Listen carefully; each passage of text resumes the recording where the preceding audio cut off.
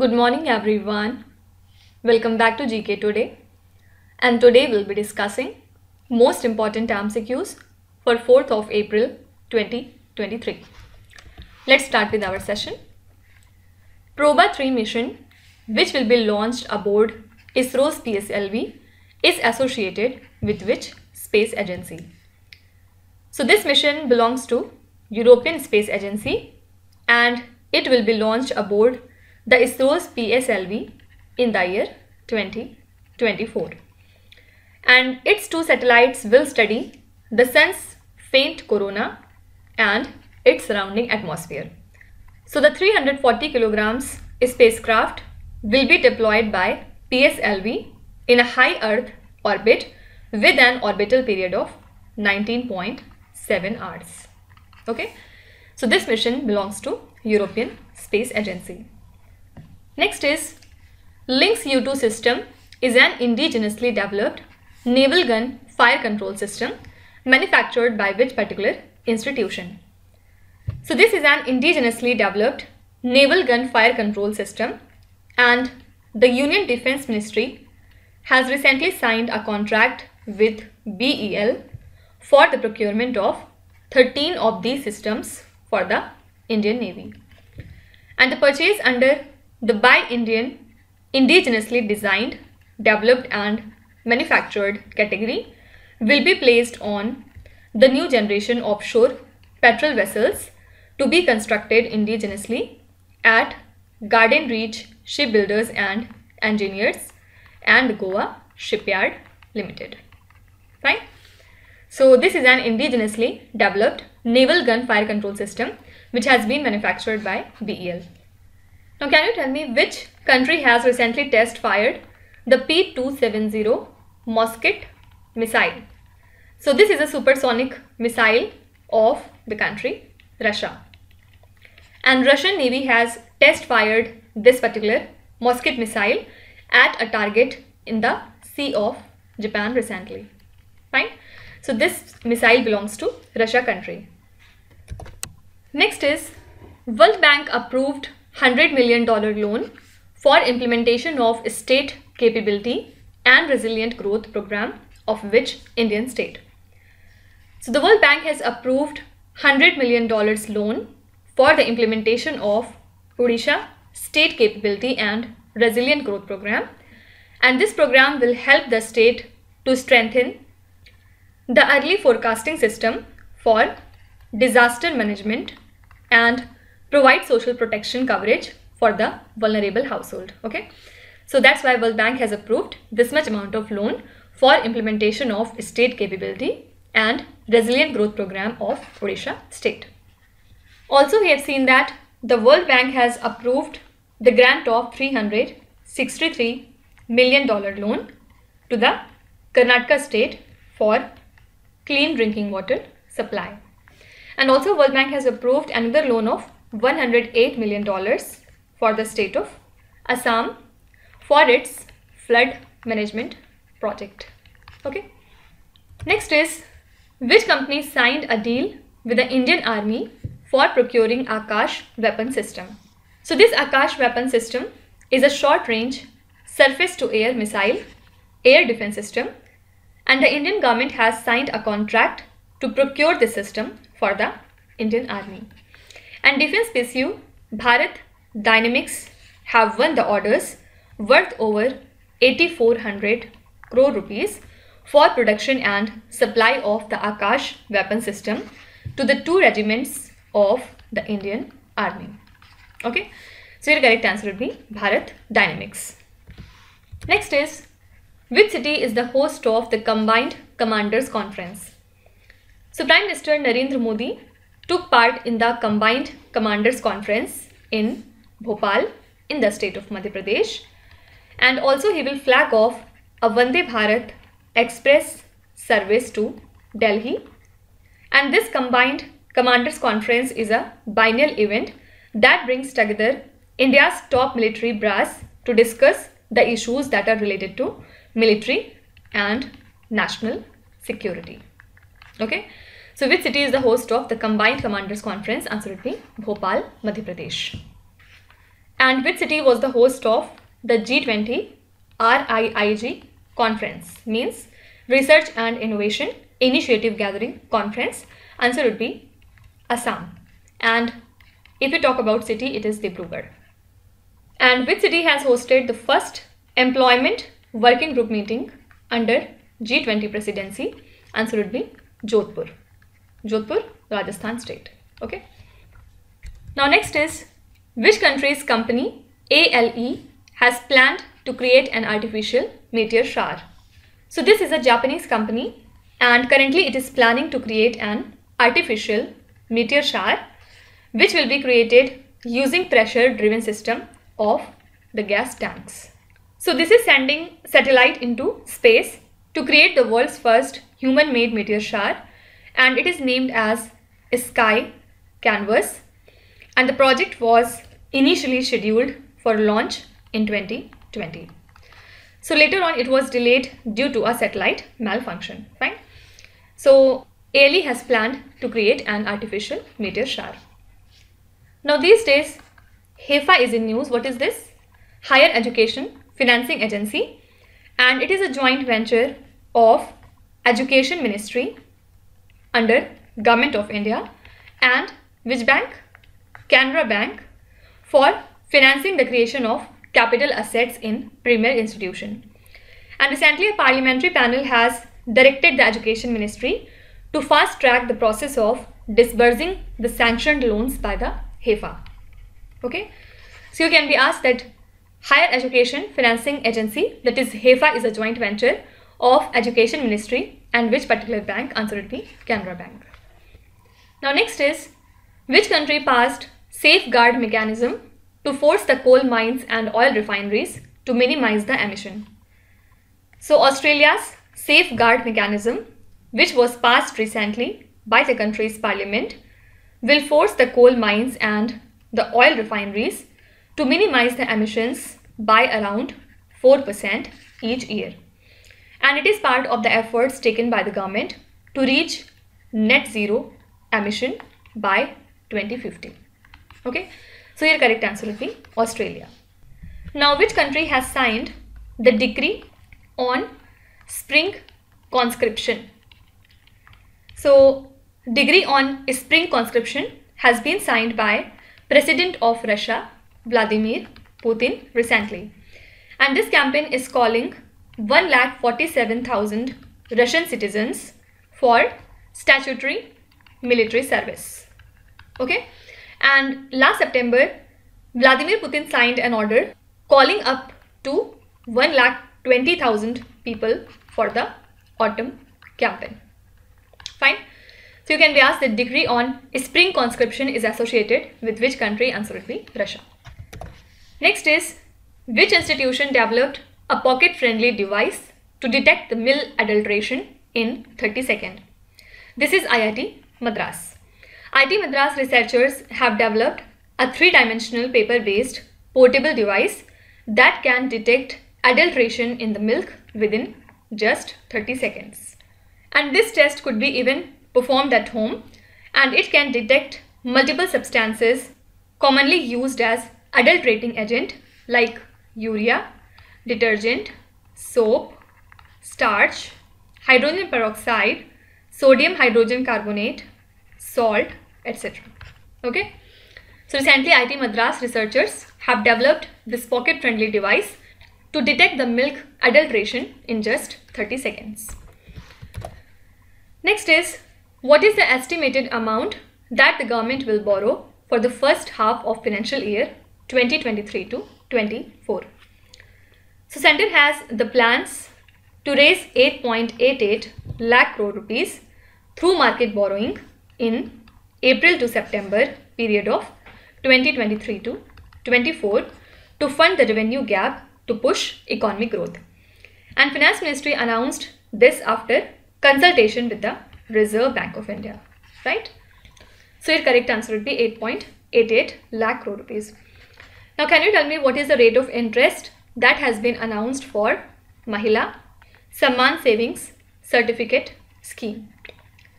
So it has been announced in the Union Budget 2023 to 24 and uh, it is a deposit facility where you can deposit up to 2 lakh rupees in the name of women or the girls for a tenure of next 2 years. Okay? And interest will be 7.5 percent. Fine now as per the central board of trustees of EPFO what is the interest rate on the provident fund deposits for this time period means for 2023 to 24 so for this period EPFO decided to raise the interest rate on the provident fund deposit marginally to 8.15 percent for financial year 23. Fine. Now next is which institution decided to ban the practice of individuals having permanent seats on the boards of listed companies. So to ensure more transparency and timely disclosure of material events by the listed entities, SEBI has decided to amend the norms whereby a quantitative threshold will be introduced for determining the materiality of the events. And also SEBI has decided to do away with the practice of individuals having permanent seats on the boards of listed companies basically. Fine. So your correct answer would be option number B. And SEBI was also in news because recently it has decided to set up a corporate debt market development fund in the form of an alternative investment fund.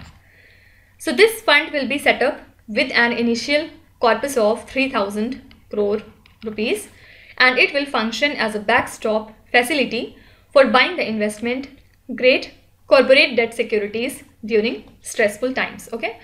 So you can be asked that which institution is to set up the corporate debt market development fund answer would be SEBI.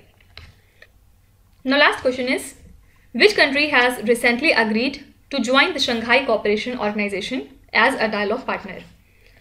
So Saudi Arabia agrees to join the Shanghai Cooperation Organization as a dialogue partner and Saudi Arabia builds a long-term partnership with China despite US security concerns. Also Saudi Arabia has approved a memorandum on granting the kingdom the status of a dialogue partner in the Shanghai Cooperation Organization. Fine. Who's the current president of SCO? So for 2023, India is the president of Shanghai Cooperation Organization. Okay. And India will hold the presidency of this grouping for one year until September 2023. Also, we are the president of G20 as well. So these are the most important current affairs and the news from today. And now let's start with our revision session in which we are doing the current affairs revision for the month of February and this is part 16 in this series. So let's start with the questions and today we'll be discussing from 76 up to question number 90. First is the National Research Foundation is an autonomous agency that comes under the aegis of which union ministry?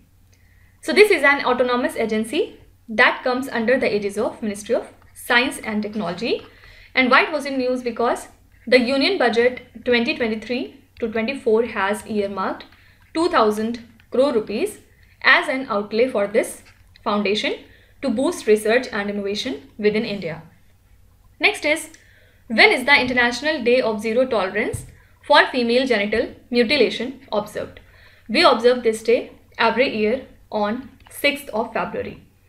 Medium density amorphous ice which was seen in the news recently was created in a container filled with which material?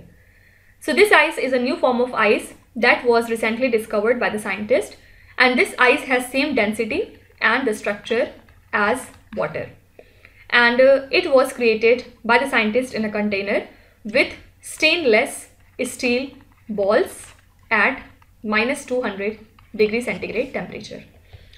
Who is the only living Indian to win the Grammy Award thrice? This is Ricky Kej.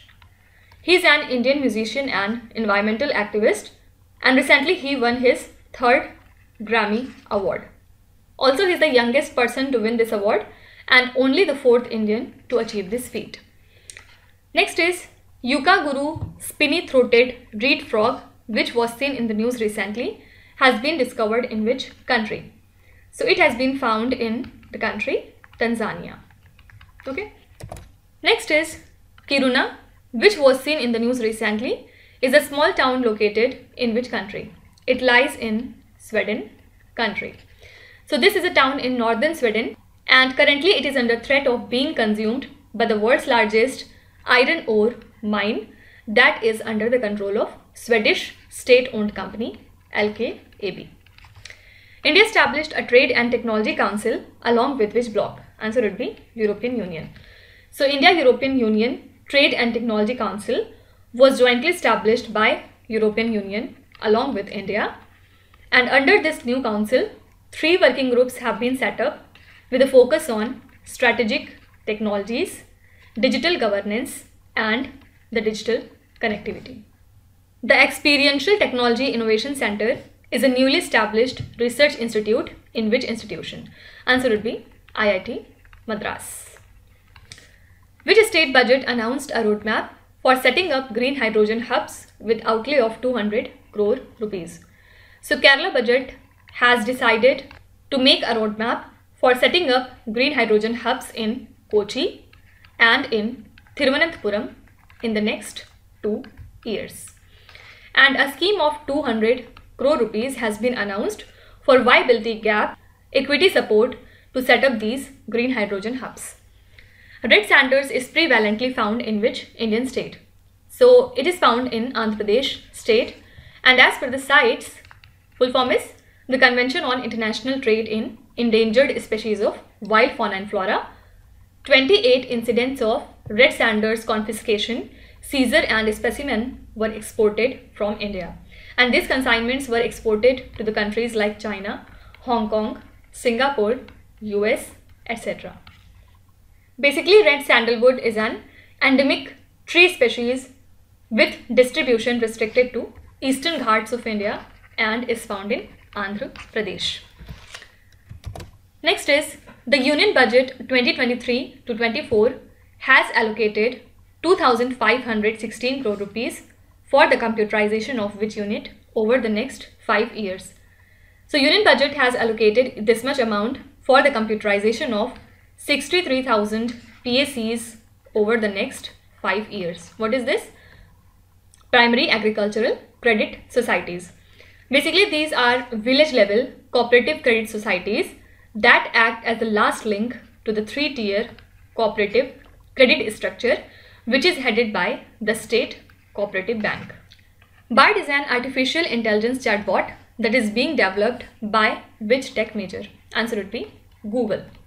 This is an AI chatbot that is being developed by Google as a competitor for the popular Microsoft backed chat GPT. Okay. TReDS is an electronic platform that facilitates the transactions for which entities? Answer would be MSME.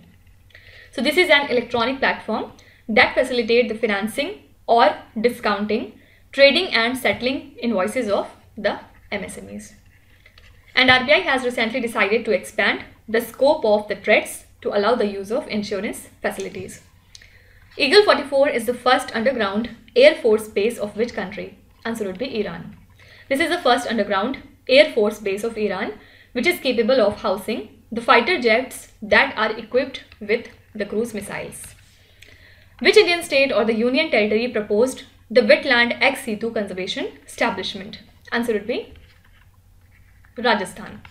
So this is a zoo that is being proposed by the state government of Rajasthan and it is said to be established within the Keoladeo National Park which is a World Heritage Site and it is also known as Bharatpur Bird Sanctuary. Okay. So these are the next 15 questions from the month of February and tomorrow will be continuing it from here and we will cover the question from 91 up to 105. Now let's start with today's quiz. Here on the slide you can see 5 questions which have been taken from the past 2-3 days current affairs. Pause the video and try to solve each of these questions and at the end of the lecture do not forget to share your scores in the comment section. So please be honest and do not cheat with yourself. So that's it for today. I hope you have liked the session. These were the important news and events from today and we will meet again tomorrow with some more important current affairs. Till then, stay tuned. Thank you so much for watching and please do not forget to subscribe to GK Today. With this, me Nuzhat Sana signing off.